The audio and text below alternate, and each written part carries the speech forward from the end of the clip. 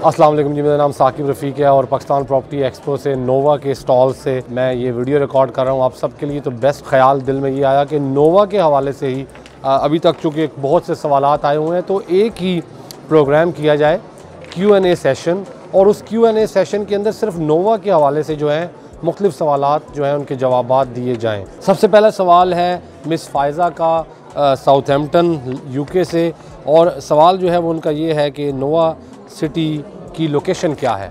Nova City Islamabad की location क्या है? आ, हम इसके बारे में पहले बड़ी डिटेल में वीडियोस बना चुके हैं। मैं दोबारा एक्सप्लेन कर देता हूँ कि सी पैक जो कि इस्लामाबाद से डेरा इसमेल ख़ान और फिर आगे गवादर की तरफ़ जाता है जिसको कि एम फोटीन भी कहते हैं। एम फोटीन के ऊपर ये प्रोजेक्ट वाक़ है। प्रोजेक्ट का तीन से चार किलोमीटर से जायद फ्रंट जो है वो मोटरवे के ऊपर आता है। इसको आप बंगो काला ख़ान अभी फ़िलहाल रोड से जा सकते हैं और अभी इसका एक रास्ता जो है, वो पुराना जो फतेह जंग रोड है, वहाँ से जाता है। ऑब्वियसली फ्यूचर में एक उम्मीद है कि यहाँ पर इंटरचेंज बन सकता है और बनेगा और डायरेक्ट एक्सेस भी जो है थ्रू इंटरचेंज इस प्रोजेक्ट को मिल जाएगी। उसकी वजह यह है कि अगर आप हकला इंटरचेंज से प्रोजेक्ट तक आते हैं तो वो जो 10 किलोमीटर की लिमिट होती है, कि 10 किलोमीटर के अंदर कोई दूसरा नहीं होना चाहिए आपका इंटरचेंज वो पूरी होती है यहाँ पर। अगला सवाल है जी, इब्रार साहब का ग्लासगो से एनओसी के बारे में पूछ रहे हैं जी कि नोवा का एनओसी है या नहीं है। अगेन बहुत सी हमारी एडवर्टाइजमेंट्स आपने देखी होंगी, हमारे इस इवेंट पे भी मुख्तलिफ़ कोलेट्रल और बहुत सी चीज़ें पड़ी हुई हैं। तमाम तर एन अप्रूव्ड हैं प्रोजेक्ट के। फुल एन आने के बाद ही ओवरसीज़ ब्लॉक जो है इसको लॉन्च किया गया है। आतिफ वड़ाइश साहब हैं जी ग्रीस से वो पूछते हैं ओल्ड स्टॉक भी पड़ा हुआ है नोवा का। तो न्यू ब्लॉक जो है उसमें और पुराने स्टॉक में क्या अवेलेबल है? आ, कोई ख़ास फ़र्क नहीं है जी। सबसे बड़ा फ़र्क सिर्फ़ यही है कि ओवरसीज़ ब्लॉक नया पेमेंट प्लान नई लॉन्चिंग आ रही है। एक नए वलवले के साथ एनओसी के बाद पहली लॉन्च है। और ओवरसीज़ ब्लॉक को स्पेशली ओवरसीज़ पाकिस्तानियों के लिए लाया गया है। लेकिन जो सबसे बड़ा फ़र्क है वो ये है कि इसके लिए आपका ओवरसीज़ पाकिस्तानी होना लाजमी है। तो आपके पास नाइकॉप होना चाहिए, ओवरसीज़ का स्टेटस होना चाहिए तब ही आप इस प्रोजेक्ट में जो है, ओवरसीज़ ब्लॉक में आप इन्वेस्ट कर सकेंगे। अगला सवाल जी ले लेते हैं, ताहिरा भट्ट हैं, मिस ताहिरा भट्ट कहती हैं ऑस्ट्रिया से कि इस वक्त नोवा सिटी की प्राइसेस बहुत कम है। हाउ इज़ दैट पॉसिबल कहने का मतलब उनका ये है कि जी प्लॉट जो है, वो इतना सस्ता कैसे हो सकता है अगर ये वाकई इस्लामाबाद है? थोड़ा सा मैं एक्सप्लेन कर दूँ। कि इस्लामाबाद अब मुख्तलिफ़ एरियाज़ में आगे की तरफ़ जा रहा है तो उसमें यह है कि जो नए एरियाज़ हैं, जो सबर्ब्स हैं, जो इस्लामाबाद के नए आबाद होने वाले इलाके हैं, वहाँ पर जो प्रोजेक्ट्स आ रहे हैं, वो नस्बता कम कीमत हैं और यहाँ पर ख़ास तौर पे इस बात का ख्याल रखा है नोवा ने कि इनिशियली जो पहली प्राइसेस दी जाएँ लॉन्चिंग के ऊपर, वो बहुत कम है। तो रियलिटी में ये प्राइसेस जो हैं ये सिर्फ़ और सिर्फ़ इंट्रोडक्टरी टाइम के लिए हैं। पाँच मरले का प्लॉट जो है एक्चुअली सत्ताईस लाख रुपए का है। हम अभी चूँकि शुरू में हैं तो हम अभी साढ़े बाईस लाख का दे रहे हैं। तो आपका जो सवाल है उसका जवाब ये है कि एक्चुअली ये एक डिस्काउंटेड ऑफ़र है इस वक्त एक टाइम फ्रेम के लिए थोड़े अरसे के लिए और बाद में ये प्राइसेस ऊपर चली जाएँगी। वहीद ख़ान साहब हैं जी आ, कहते हैं कि पेमेंट प्लान चार साल का है, नोवा इस्लामाबाद ओवरसीज़ ब्लॉक का, जबकि आप दावा करते हैं कि तीन साल में भी हम प्लॉट दे सकते हैं। देखिए, इसमें पहली बात तो यही, जो नोवा की मैनेजमेंट है, वो ये कह रहे हैं कि हम ऑन टाइम डिलीवरी देंगे।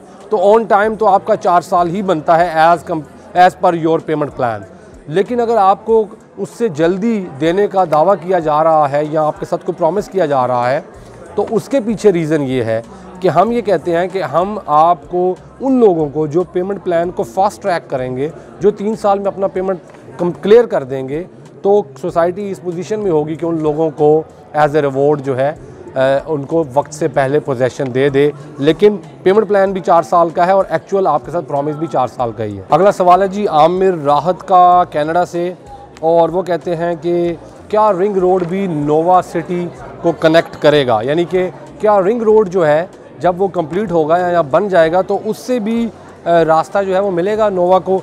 देखिए नोवा के अगर बहुत करीब आकर रिंग रोड निकलेगा तो ये तो नहीं है ज़रूरी कि रिंग रोड से डायरेक्ट एक्सेस हो।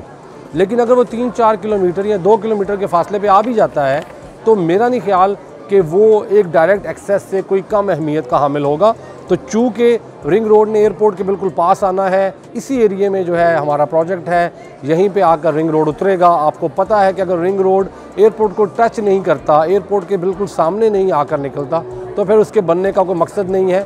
रिंग रोड को बनाया ही मेनली जो पहला उसका हिस्सा बनाया जा रहा है, वो बनाया ही इसलिए जा रहा है कि एयरपोर्ट जो है, वो अच्छे तरीके से कनेक्ट हो जाए उन लोगों के लिए, जो लोग जेलम खारियाँ इस रीजन से आया करेंगे। ताकि वो थ्रू इस्लामाबाद या थ्रू रावलपिंडी ना गुजरें। तो डेफिनेटली इसका फ़ायदा होगा। अच्छा जी अगला सवाल है असलम शेख साहब का लंदन से कहते हैं क्या सी पैक से नोवा को इंटरचेंज मिलेगा? अच्छा ये बहुत ही टेक्निकल क्वेश्चन है और इसका आ, मैं आपको बिल्कुल डिटेल में टेक्निकल जवाब दूँगा। देखिए सी पैक के ऊपर जो रूल्स हैं वो ये हैं कि हर 10 किलोमीटर के बाद ही आप इंटरचेंज ला सकते हैं। 10 किलोमीटर के कम फासले पर इंटरचेंज नहीं ला सकते। अगर हम पीछे वाले इंटरचेंज को देखें, जो कि इस्लामाबाद से आते हुए आता है, वो इंटरचेंज है हकला इंटरचेंज और अगर आप हम फर्दर देखें तो जहाँ पे नोवा प्रोजेक्ट आता है, वहाँ पर टोटल फासला 12-13 किलोमीटर बन जाता है। तो बाई लॉ ये बेस्ट जगह है। यहाँ पे कोई प्रॉब्लम नहीं होगी कल को अगर इंटरचेंज ये सोसाइटी मांगती है। दूसरा टेक्निकल इशू ये है कि अगर यहाँ पर दस बीस हज़ार लोगों के या तीस हज़ार, पचास हज़ार लोगों के रहने के लिए जगह बना दी जाए। जैसा कि हम सब जानते हैं कि नोवा इनिशली सत्रह अठारह हज़ार कनाल का प्रोजेक्ट है और आगे जो प्लान्स हैं वो पचास हज़ार कनाल प्लस के हैं। जब इतना बड़ा आप प्रोजेक्ट बना देते हैं तो उन लोगों के लिए अगर वो लोग आपकी फ़ी भर देते हैं, वो सोसाइटी आपकी, वो जो एक अमाउंट है, वो नेशनल हाईवे अथॉरिटी को देने को तैयार है तो there is nothing that can stop you because government तो चाहती है कि इस तरह के जो प्रोजेक्ट्स हैं, उनको दिए जाएँ इंटरचेंजेस और उसके बदले में उनसे हैवी अमाउंट्स भी ली जाएँ। और सेकेंडली वहाँ के इन्वेस्टर्स और वहाँ के रहने वाले लोगों को सहूलियात भी मिलें और आसानियाँ मिलें। सलीम राजा साहब हैं जी यूएसए से पूछते हैं कि नोवा के और कौन कौन से प्रोजेक्ट्स हैं?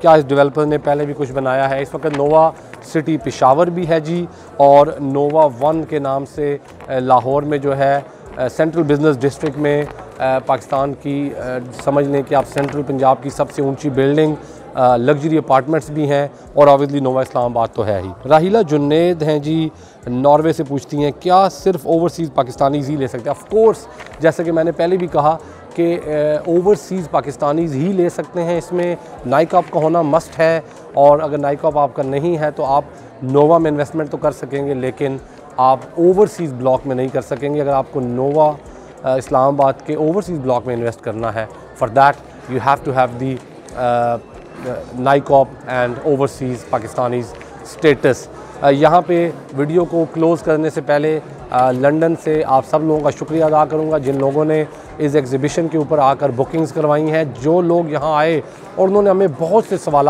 पूछे, मैं उनके सवाल के जवाब यहाँ नहीं दोहरा रहा चूँकि ऑब्वियसली उन लोगों को फ़ेस टू फेस हमने जवाब दिए। अगर आपने अब तक अपना प्लॉट बुक नहीं कराया नोवा का तो प्लॉट बुक कराएँ या ना करवाएँ, लेकिन रबता ज़रूर करें काजी इन्वेस्टमेंट से दिए गए नंबर्स पर और जानिए मज़ीद प्रोजेक्ट के बारे में। मुझे दीजिए इजाज़त। असल अल्लाह हाफ़